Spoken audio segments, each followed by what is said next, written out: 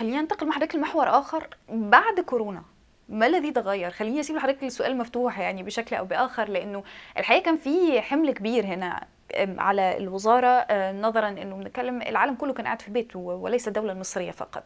حضرتك تحدثت كثيرا عن ساعات الذروه اللي زادت بشكل مهول خلال الشهور اللي كنا قاعدين فيها في البيت. في أنظمة كثيرة تغيرت في في فيما يتعلق بحياتنا اليومية ابرزهم نظام التعليم عن بعد، الأعمال اللي بقت من خلال المنازل، في ضغط كان على الشبكة المصرية. إيه اللي حصل بعد الجائحة وهل في بعض الخدمات فعلت فعلت بشكل أسرع. يعني إحنا يمكن زي الأيام دي السنة اللي فاتت كنا بنتكلم عن تحول رقمي وكأنه اختراع.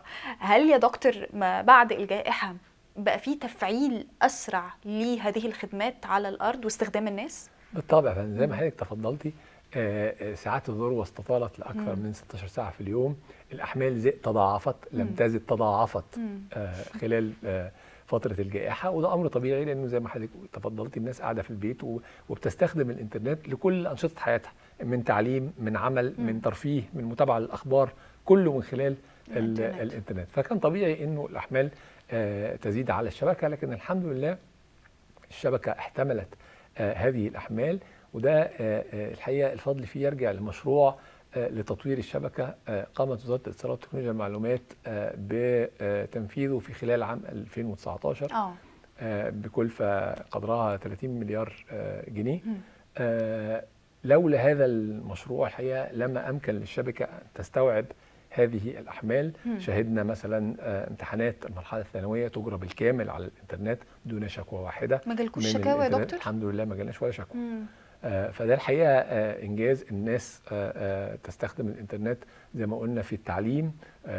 بالعكس إحنا اتحنا كل منصات التعليم التي حددتها وزارتا التربية والتعليم والتعليم العالي مجانا للطلبة لكي يقبلوا أكثر على الاستخدام. وهذا أمر محمود.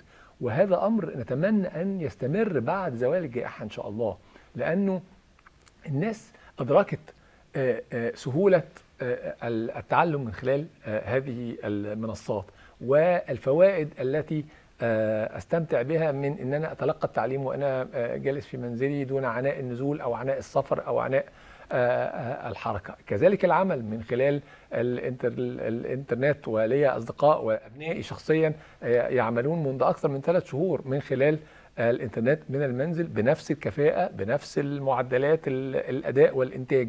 فالناس أدركت انه هذه الوسيلة التي ربما البعض كان يعزف عن استخدامها لأنه طبيعة الإنسان إنه يعني بعض الأحيان يتردد في الإقبال على ما هو جديد. أصبحت الآن مسألة اعتيادية واعتدنا عليها. توقع العالم كله وليس توقعي الشخصي إنه بعد زوال الجائحة بإذن الله ستستمر. النيو نورمال ده اللي هيكمل يعني بالزبط. مع العالم كله. بالزبط.